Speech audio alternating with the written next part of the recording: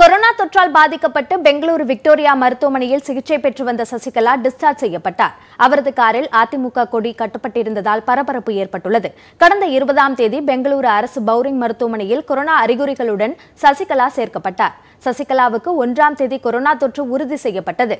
அதனைத் தொடர்ந்து இருபத்தொன்றாம் தேதியிலிருந்து விக்டோரியா மருத்துவமனையில் சிகிச்சை பெற்று வந்தார். இந்நிலையில் கொரோனாவிலிருந்து மீண்ட சசிகலா மருத்துவமனையிலிருந்து டிஸ்சார்ஜ் செய்யப்பட்டார். பகல் பன்னிரண்டு மணி அளவில் டிஸ்சார்ஜ் செய்யப்பட்ட நிலையில் அவருடைய காரில் அதிமுக கொடி கட்டப்பட்டிருந்ததால் பரபரப்பு ஏற்பட்டுள்ளது.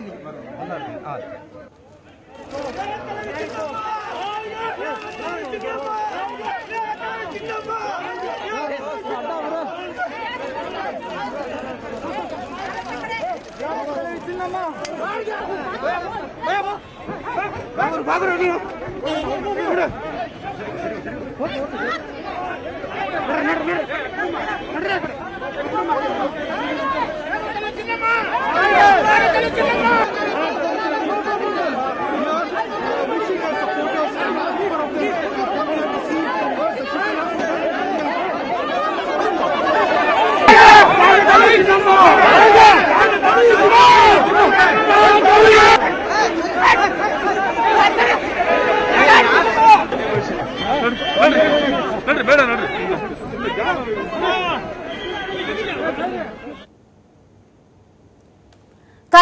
மாநில கொரோனா வழிகாட்டு நெறிமுறைகளின்படி மருத்துவமனையிலிருந்து டிஸ்சார்ஜ் செய்யப்பட்டதிலிருந்து ஏழு நாட்கள் வீட்டு தனிமையில் இருப்பது கட்டாயமாகும்.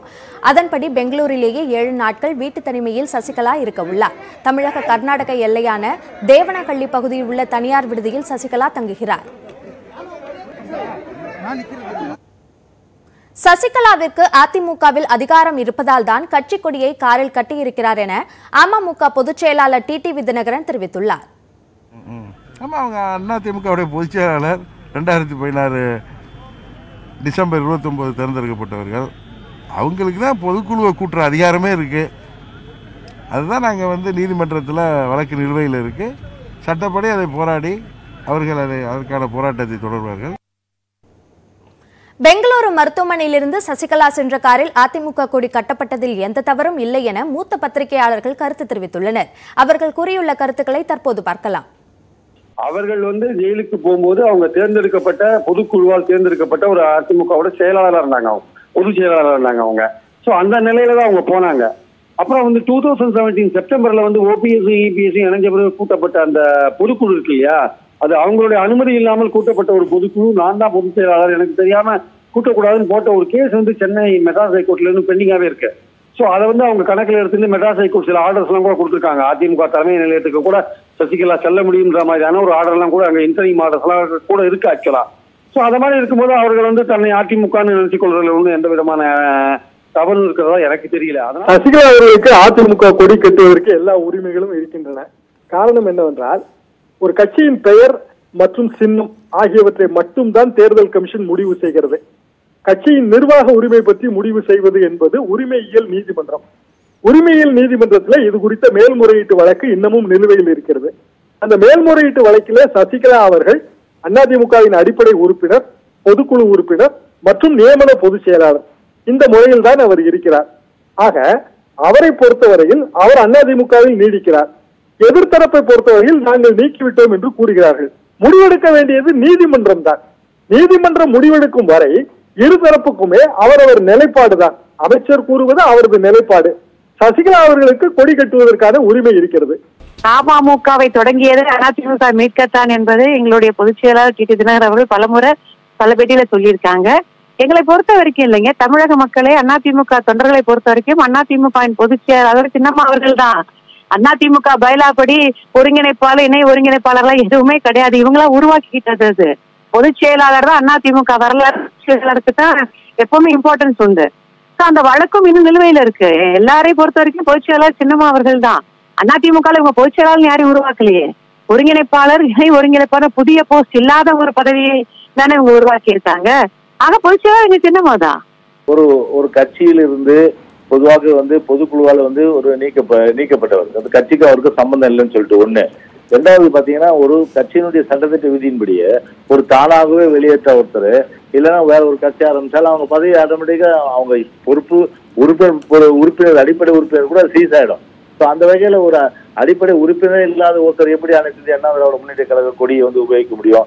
ஸோ அதனால இது எந்த வகையில இது வந்து ஒரு ஏற்றுக்கொள்ள முடியாத ஒரு செயல்தான் நிச்சயமாக வந்து இது வந்து ஒரு ஒரு சட்டத்துக்கு மீறிய ஒரு செயலாகத்தான் நிச்சயமாக கருத முடியும். சசிகலா விடுதலையானதால் அவர் சுதந்திர பறவையாக மாறிவிட்டதாகவும் இனி அவரது முடிவுகளை அவரே எடுப்பார் எனவும் பாஜக மூத்த தலைவர் எச் ராஜா தெரிவித்துள்ளார். காரைக்குடியில் செய்தியாளர்களை சந்தித்த அவர் தமிழக மக்கள் அனைவரும் அயோத்தியில் ராமர் கோயில் அமைப்பதற்கு நிதி உதவி வழங்க வேண்டும் என கேட்டுக்கொண்டார் சசிகலா அவர்கள் அவருடைய தண்டனை காலம் முடிந்து விடுதலையாகிறார் இனிமேல் அவர் ஒரு விடுதலையான சுதந்திர பறவை. அவர் முடிவுகள் அவர் எடுப்பார். சசிகலாவை வரவேற்று போஸ்டர் ஒட்டுபவர்கள் அதிமுகவினர் இல்லை என்றும் சசிகலா ஒழிக என தங்களால் லட்சக்கணக்கான போஸ்டர்களை ஒட்ட முடியும் என்றும் சட்டத்துறை அமைச்சர் சி வி சண்முகம் தெரிவித்துள்ளார். விழுப்புரம் மாவட்டம் திருவக்கரையில் செய்தியாளர்களிடம் பேசிய அவர் இதனை தெரிவித்தார்.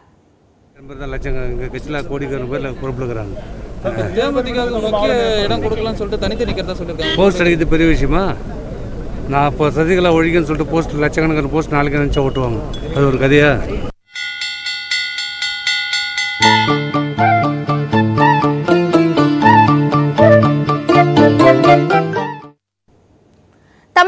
பிப்ரவரி இருபத்தெட்டாம் தேதி வரை ஊரடங்கு நீட்டிக்கப்பட்டுள்ளதுடன் வரும் எட்டாம் தேதி முதல் ஒன்பது மற்றும் பதினோராம் வகுப்பு மாணவர்கள் பள்ளிக்கு வர அனுமதி அளிக்கப்பட்டுள்ளது.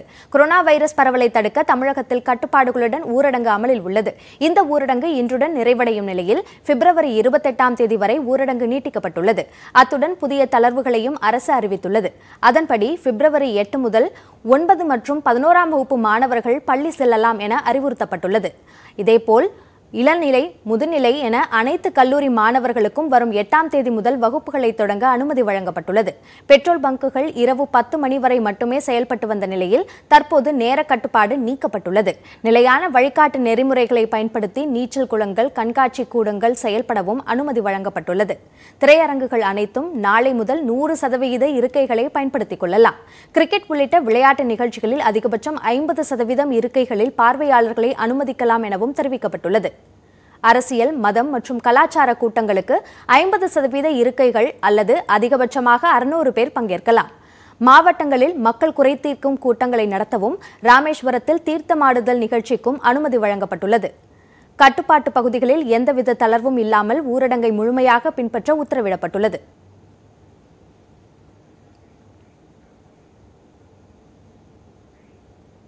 அடுத்ததாக விரைவுச் செய்திகளை பார்க்கலாம்.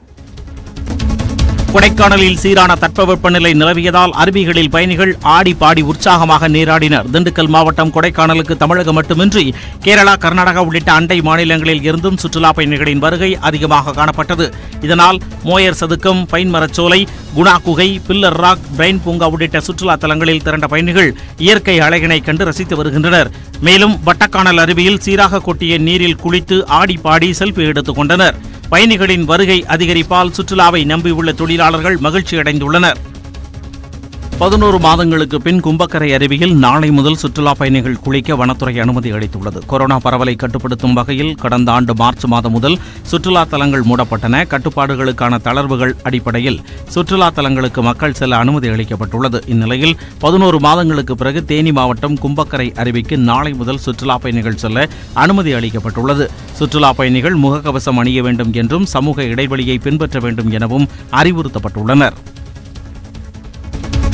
ஜம்மு காஷ்மீர் மாநிலம் ஸ்ரீநகரில் முப்பது ஆண்டுகளில் இல்லாத அளவுக்கு கடும் குளிர் நிலவுகிறது. ஸ்ரீநகர் மற்றும் சுற்றுவட்டார பகுதிகளில் கடந்த சில நாட்களாகவே குளிர் வாட்டி வதைத்து வருகிறது. இந்நிலையில் சனிக்கிழமை இரவு மிகவும் குறைந்தபட்சமாக மைனஸ் எட்டு புள்ளி எட்டு என்ற அளவில் குளிர் பதிவானது. ஸ்ரீநகரில் உள்ள நீர்நிலைகள் உறைந்த நிலையில் காட்சியளிக்கின்றன. பார்க்கும் இடமெங்கும் வெண்போர்வை போர்த்தியது போல் பனித்துகள்கள் ஆக்கிரமித்துள்ளன. முன்னதாக ஆயிரத்து தொள்ளாயிரத்து தொன்னூற்று ஒன்றாம் ஆண்டு ஸ்ரீநகரில் மிகவும் குறைந்தபட்சமாக மைனஸ் பதினோரு புள்ளி எட்டு டிகிரி பதிவானது குறிப்பிடத்தக்கது. ஓபிஎஸ் இபிஎஸ் ஒன்றாக இருப்பது போல் நடிப்பதாக திமுக தலைவர் மு க ஸ்டாலின் கூறியுள்ளார். தான் அரசியலுக்கு வர வேண்டும் என விரும்பியவர் எம்ஜிஆர் என்றும் அவர் கூறியுள்ளார். திருவள்ளூர் மாவட்டம் நசரத்பேட்டை பகுதியில் ஸ்டாலின் இன்று பிரச்சாரம் செய்தார். அப்போது பேசிய அவர் ஆயிரத்து தொள்ளாயிரத்து அறுபத்தி இரண்டாம் ஆண்டு அண்ணா வெளியிட்ட தேர்தல் அறிக்கையில் கேடுகள் போக்கிட திமுகவிற்கு ஆதரவு தாரீர் என்று சொன்னதாகவும் அதேதான் தானும் தற்போது சொல்வதாகவும் கூறினார். ஊழல் வழக்கில் இருந்து தப்பிக்கவும் கொள்ளையடித்த பணத்தை காக்கவுமே ஓபிஎஸ் இபிஎஸ் ஒன்றாக இருப்பது போல நடிப்பதாக குற்றம் சாட்டிய ஸ்டாலின் ஒரு குட்டி கதையையும் சொன்னார். கோடிக்கணக்கான மக்களுடைய வாழ்க்கைய தங்களுடைய சுயநலத்துக்காக சூறையாடின மாபெரும் குற்றவாளிகள் தான் பழனிசாமியும் பன்னீர்செல்வமும்.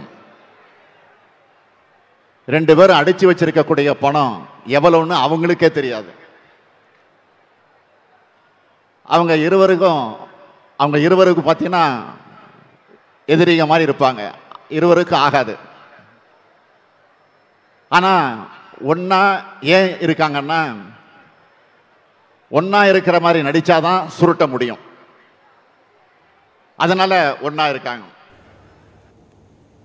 தொடர்ந்து எம்ஜிஆருடன் இருக்கும் புகைப்படத்தை காட்டிய ஸ்டாலின் அரசியலுக்கு வர வேண்டும் என தனக்கு அறிவுரை கூறியது எம்ஜிஆர் தான் எனவும் தெரிவித்தார்.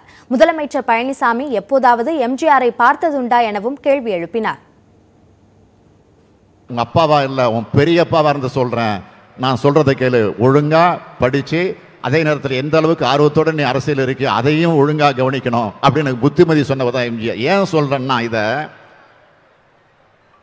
இப்போ எம்ஜிஆரை பத்தி பேசிட்டு இருக்கிறார். இந்த எடப்பாடி என்னைக்காவது எம்ஜிஆர் மூஞ்ச போய் பக்கத்துல இருந்து பார்த்திருக்கிறாரா? திருத்தணியில் தனக்கு வேல் பரிசாக அளிக்கப்பட்டது குறித்து பேசிய ஸ்டாலின் கடவுளை தாங்கள் வெறுக்கவில்லை என்றார். அங்க இருக்கக்கூடிய பொதுமக்கள் அந்த திருத்தணி கோவில் இருக்கக்கூடிய பூசாரிகள் எல்லாம் ஒண்ணா வந்து சேர்ந்து என் கையில கொடுத்தாங்க. நான் வாங்கினேன். அது தப்பா? அது தப்பா? கடவுளை நாங்க வெறுக்கல. கடவுளை நாங்கள் ஏதாவது அவமானப்படுத்தி பேசுகிறோமா? எங்கேயாவது பேசியிருக்கிறோமா? இந்த ஜெகத்தச்சன் உட்காந்துருக்கிறாரா எவ்வளோ பெரிய பொட்டோட தான் வந்து உட்காருவார் எப்போதும். நாங்கள் என்னைக்காவது ஏன் வச்சுங்கன்னு கேட்டிருக்கோமா? வேண்டுமென்றே திட்டமிட்டு இன்றைக்கு ஒரு பிரச்சாரத்தை நடத்திட்டு இருக்காங்களே தவிர வேற அல்ல. முன்னதாக பிரச்சார கூட்டத்திற்கு வந்திருந்த தொண்டர்கள் கொடுத்த மனுக்களை பெற்றுக்கொண்ட ஸ்டாலின் அவற்றை பெட்டியிலிட்டு சீல் வைத்து பூட்டினார். வன்னியர்கள் இடஒதுக்கீடு தொடர்பாக வருகிற மூன்றாம் தேதி நடைபெறும் பேச்சுவார்த்தையின் அடிப்படையில் கூட்டணி முடிவு அறிவிக்கப்படும் என்று ராமதாஸ் தெரிவித்துள்ளார். வன்னியர்களுக்கு இருபது சதவீத இடஒதுக்கீடு வழங்க வலியுறுத்தி தமிழகம் முழுவதும் பாமகவினர் போராட்டம் நடத்தி வரும் நிலையில் நேற்றைய தினம் தமிழக அமைச்சர்கள் C. V. Shanmugam S. P. Velumani Thangamani மற்றும் கே. பி. அன்பழகன் ஆகியோர் ராமதாஸை சந்தித்து பேச்சுவார்த்தை நடத்தினர். இதில் எந்த உடன்பாடும் எட்டப்படவில்லை என்று தகவல் வெளியானது. இதனைத் தொடர்ந்து கட்சியின் நிர்வாக குழு கூட்டத்தில் பேசிய ராமதாஸ் வன்னியர்களின் போராட்டத்திற்கு அதிமுக மதி மதிப்பளித்து இடஒதுக்கீடு வழங்கினால் மட்டும்தான் கூட்டணி என திட்டவட்டமாக தெரிவித்ததாக தகவல் வெளியானது. இந்த நிலையில் பாமகவின் சிறப்பு நிர்வாக குழு கூட்டத்தில் நிறைவேற்றப்பட்ட தீர்மானங்கள் வெளியாகியுள்ளன. அதில் வன்னியர் இடஒதுக்கீடு குறித்து பிப்ரவரி மூன்றாம் தேதி பேச்சுவார்த்தை நடத்துவதற்கான அதிமுக விடுத்த அழைப்பு ஏற்கப்பட்டுள்ளதாகவும் பேச்சுகளின் முடிவை பொறுத்து தேர்தல் கூட்டணி குறித்து முடிவு செய்யப்படும் எனவும் தெரிவிக்கப்பட்டுள்ளது. தேமுதிக தொண்டர்கள் அனைவரும் விரும்பினால் தன்னுடைய குரல் தமிழக சட்டமன்றத்தில் ஒலிக்கும் என தேமுதிக பொருளாளர் பிரேமலதா விஜயகாந்த் தெரிவித்துள்ளார். சென்னையில் செய்தியாளர்களை சந்தித்த அவர் தேமுதிகவிடம் விரைவாக பேச்சுவார்த்தை நடத்த அதிமுக முன்வர வேண்டும் என்றும் கேட்டுக்கொண்டார். தொண்டர்கள் அத்தனை பேரும் இந்த முறை நீங்கள் போட்டியிட வேண்டும் என்று அத்தனை பேருடைய விருப்பமாக இருக்கு. ஆனால் நான் போட்டி இடுகிறேனா இல்லையா என்பது இந்த நிமிடம் வரைக்கும் எனக்கு தெரியாது. தலைவர் அவர்கள் ஆணையிட்டால் எங்கள் தொண்டர்கள் விரும்பினால் என்னுடைய குரல் நிச்சயமாக சட்டசபையில் இந்த முறை ஒலிக்கும் என்பதை சலுகைகள் நிறைந்ததாக இருக்குமா பட்ஜெட்? துறைசார் மக்களின் தேவைகள் என்ன?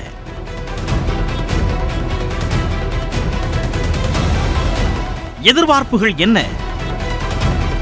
மத்திய பட்ஜெட் இரண்டாயிரத்து இருபத்தி ஒன்று இரண்டாயிரத்து இருபத்தி இரண்டு. திங்கட்கிழமை காலை எட்டு மணி முதல். தமிழக அரசின் புதிய தலைமை செயலாளராக ராஜீவ் ரஞ்சன் நியமிக்கப்பட்டுள்ள நிலையில் முன்னாள் தலைமை செயலாளர் சண்முகம் அரசின் ஆலோசகராக நியமிக்கப்பட்டுள்ளார்.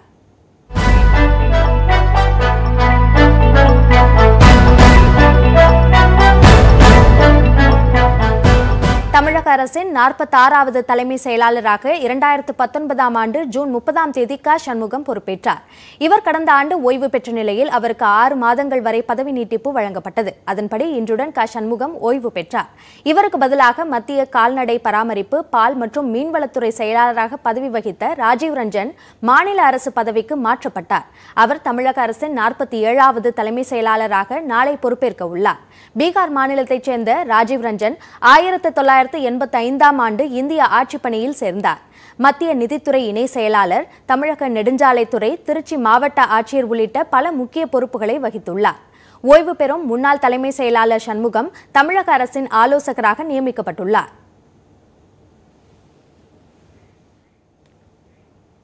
தொடர்ந்து விரைவு செய்திகளை பார்க்கலாம். இடியும் நிலையில் உள்ள வீடுகளை பராமரிக்க கோரிக்கை விடுக்காமல் மஞ்சு விரட்டு கிரிக்கெட் போட்டி உள்ளிட்டவற்றுக்கு இளைஞர்கள் நிதி கேட்டு வருகின்றனர் என கதர்த்துறை அமைச்சர் பாஸ்கரன் ஆதங்கத்துடன் கூறினார். சிவகங்கை மாவட்ட ஆட்சியர் அலுவலக வளாகத்தில் ஆதி திராவிடர் நலத்துறை சார்பில் மனிதநேய வார விழா நடைபெற்றது.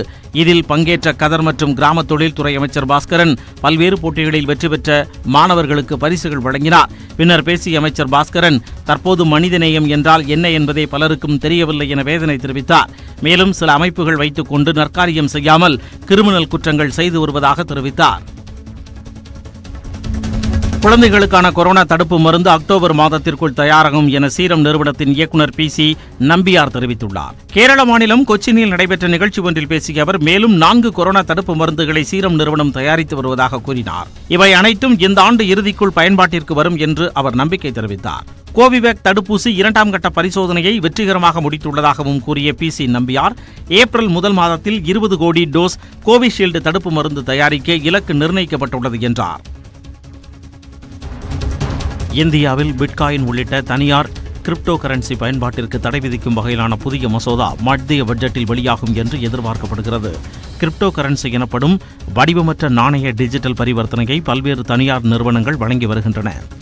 பிட்காயின் என்ற நாணயம்தான் முதன் முதலில் புழக்கத்திற்கு வந்த கிரிப்டோ கரன்சி ஆகும் இதனை இரண்டாயிரத்து பதினெட்டாம் ஆண்டே ரிசர்வ் வங்கி தடை செய்து உத்தரவிட்ட நிலையில் கடந்த ஆண்டு கிரிப்டோ கரன்சிகள் மீதான தடையை உச்சநீதிமன்றம் நீக்கியது. இந்த நிலையில் மத்திய பட்ஜெட்டில் அறிமுகப்படுத்தப்படும் மசோதாவில் ரிசர்வ் வங்கி சார்பாக அதிகாரப்பூர்வமாக கிரிப்டோ கரன்சி நாணயம் வெளியிடப்படும் என்ற தகவல் வெளியாகியுள்ளது. சென்ட்ரல் பேங்க் டிஜிட்டல் கரன்சிஸ் என்ற பெயரில் இந்த கிரிப்டோ கரன்சியை ரிசர்வ் வங்கி வெளியிடுகிறது. சீனாவிற்கு போட்டியாக இந்த முயற்சியில் இந்தியா களமிறங்கியுள்ளது. இதற்கான பிளாக் செயின் தொழில்நுட்பத்தில் முறைகேடுகள் நடைபெறாமல் காக்கும் வகையில் புதிய மசோதா அமல்படுத்தப்படும் என்றும் கூறப்படுகிறது. ஜனநாயகத்தில் அவரவர் கட்சியை வளர்ப்பதுதான் முக்கிய குறிக்கோள் என்றும் திமுக காங்கிரஸ் கூட்டணியில் எந்தவிதமான விரிசலும் கிடையாது என்றும் அக்கட்சியின் மகளிர் அணி செயலாளர் கனிமொழி எம்பி தெரிவித்துள்ளார்.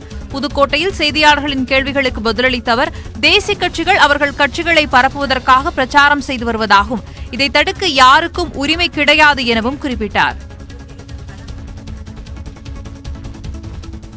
செய்திகளை உடனுக்குடன் தெரிந்து கொள்ள நியூஸ் எயிட்டின் தமிழ்நாட்டின் ஃபேஸ்புக் ட்விட்டர் யூடியூப் உள்ளிட்ட வலைதள பக்கங்களை பார்க்கவும்.